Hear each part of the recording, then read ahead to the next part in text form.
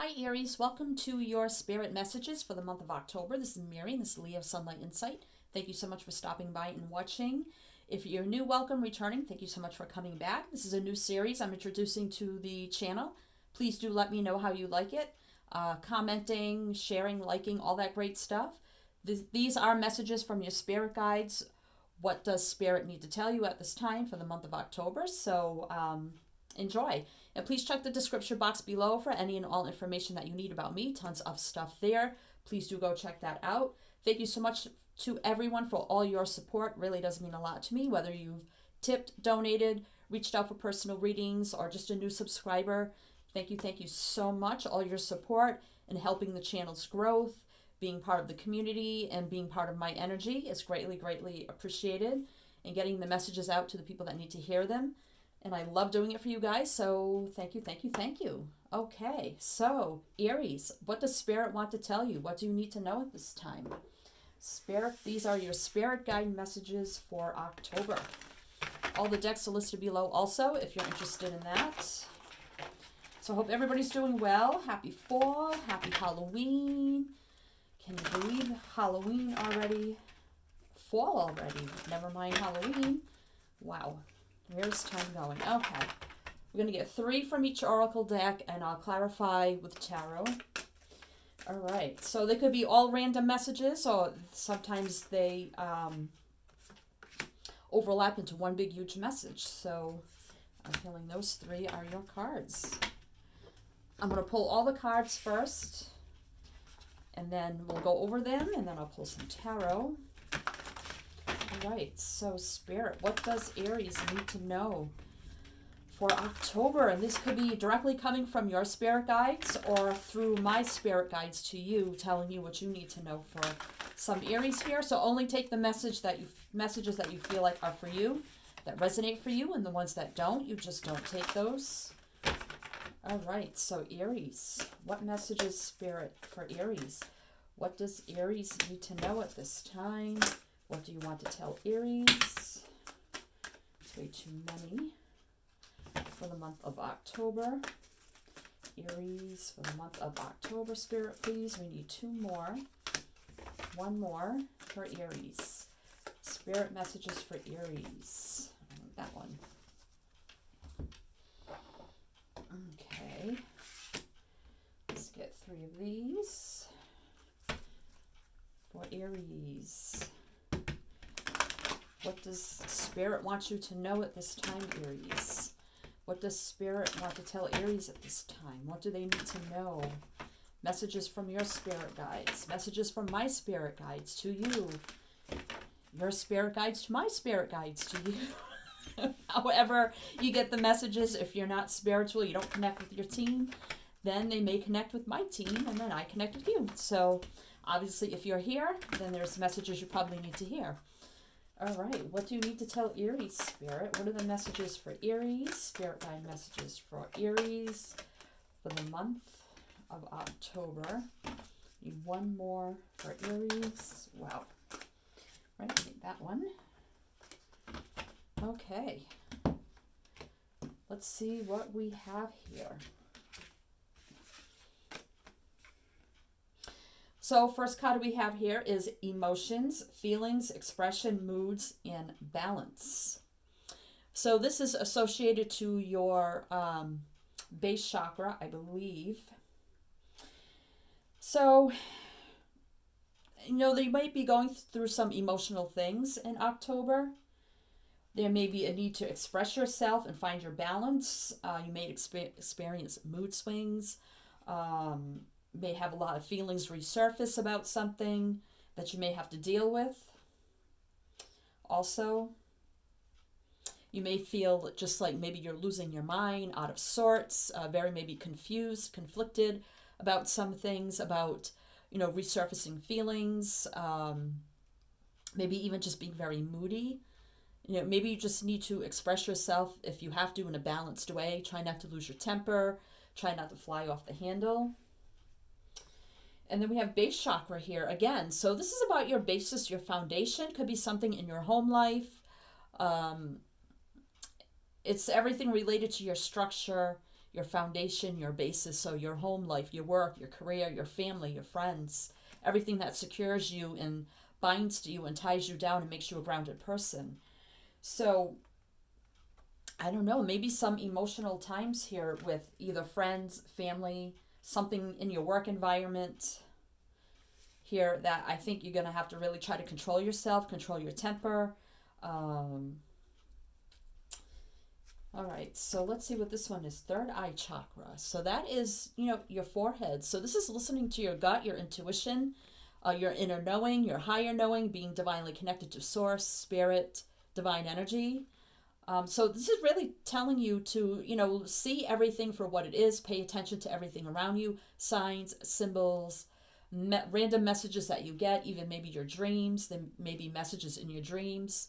Um, just really paying attention to all those little synchronicities that you may not really uh, associate to anything. You may just like brush it off.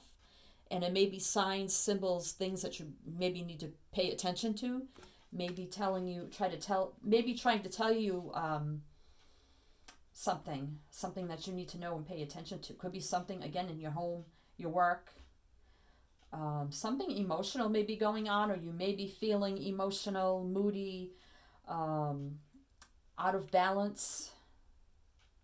Maybe dealing with resurfacing feelings or something's maybe really emotional for you in october. It could be associated with something with your your family, your close friends, your home environment. But whatever here, just listen to your intuition, uh, see things for what they are. All right, so we have here live life to the fullest.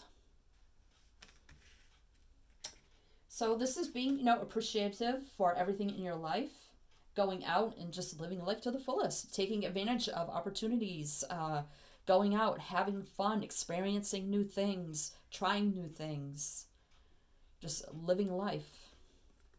Then we have retreat. So, and it may have to do with um, maybe you just need a vacation, you know, stay home, you know, stay vacation. What do they call it when you stay at home for your vacation? A stay vacation, staycation, or something like that. Maybe you just need a staycation. and trust the divine plan. Exactly. So listen to your intuition, listen to the signs, symbols, synchronicities, numbers you're seeing, messages you keep seeing, dreams, and everything going on around you. Pay attention to it all and trust the divine plan for you um, and just listening to your gut and intuition.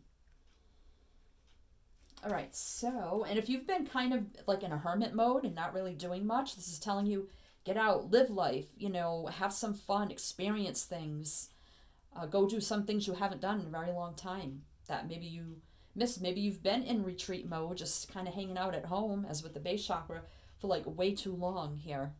And maybe you're going stir crazy. maybe you're going stir crazy just sitting at home. It's time to get out and have some fun, do some things, travel, explore, get out and exercise, go join some social communities things of that nature. All right, let's see what we have here. Communicating freely. I communicate from the depths of my being. So it's telling you here for October not to be afraid to communi- communicate freely, express yourself, uh, truth, clarity, that sort of energy. I mean, not to be like a cold cutting person, but just be open, honest, and truthful, and um, that sort of energy. Don't be afraid to speak up for yourself either.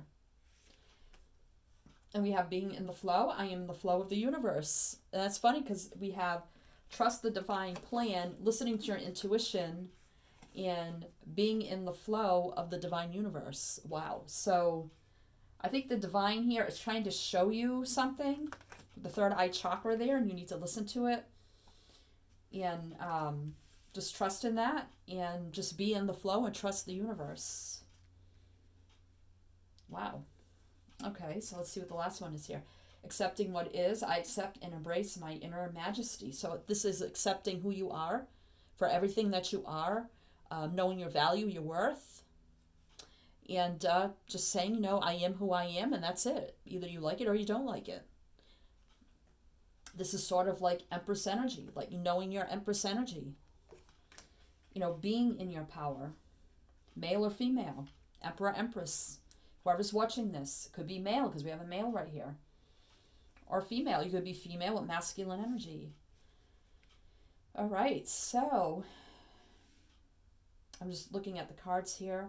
Um, you may, like I said, you may be just sitting at home going stir crazy, and this is telling you to get out, and you maybe you just need to socialize, so communicate freely here. Get out, do some new things, socialize with some people. With the base chakra here, maybe you've just been sitting at home. This is telling you, you know, just to go with the flow. Um, trusting in the universe. And accepting what is in the divine plane third eye chakra. I, I just feel like for some of you whatever's coming for you is meant to be. Just accept the plan just go with the flow. And some of you really need to appreciate yourself stand in your power know your value your worth your divine energy from within and just be who you are all right so let's get some tarot Spirit's really kicking ass with the messages today for you Aries. So whoever gets, whoever needs to hear these messages, I really hope you hear them. All right, so let's clap. Male or female? You know, sometimes I say Empress, but it can be Empress, Emperor. It's just energy. All right, so... And I'm just noticing here, you have 11 here, which is 2, which is about unity uh, people coming together, partnership, one here, one's all about new beginnings, and you have 36 here, nine, which is coming to the end of a completion. If you add them together, you get 9, 10, 11, 12, which is 13, which is a social number. Threes are a social number. You know, groups of people coming together, uh, working together, teamwork. I think some of you just need to get out and socialize. All right, so let's see. What is this uh, emotions about? I don't want to take anything until I ask. The Ace of Cups. So this is, you know, love, emotions, feelings. So you may get res resur resurgence here of a whole whole new flood of emotions, feelings, moodiness, um, just like all of a sudden out of nowhere. And it might be like a flooding of all this energy. Maybe something you've been holding down inside for a very long time, all of a sudden something triggers it and you just kind of explode and then all this emotion comes out because this cup is overflowing here. And it may, you know, finally releasing that, healing that, you know, purging that, letting it all come out may bring you a sense of balance in the end. Whatever that means for you. So that could be a separate message for some. And and I think you'll have a whole new like renewal of yourself with the Ace of Cups there. It's like a whole new uh, energy. You'll have like a whole renewal of yourself. Like a whole new peace, tranquility, harmony from within because you've purged that energy. Maybe you've been holding in for a very long time for some of you. All right, so live life to the fullest. What is that about? The Four of Swords. Yeah, I think, like I said, you've been kind of hanging out at home, just retreating and just kind of like being stagnant here with the Four of Swords energy. And this is telling you definitely get out, live life to the fullest, you know. Um, no more of this energy, just kind of hanging back and just kind of thinking, contemplating, going crazy in your head. All right, so let's see. Communicate freely. I communicate from the depths of my beings. Let's see. What is that about? Three of Cups. And again, I had said getting out and socializing. And this is Three of Cups, socializing energy. Having a good time, reuniting, uh, rejoicing, celebrating here.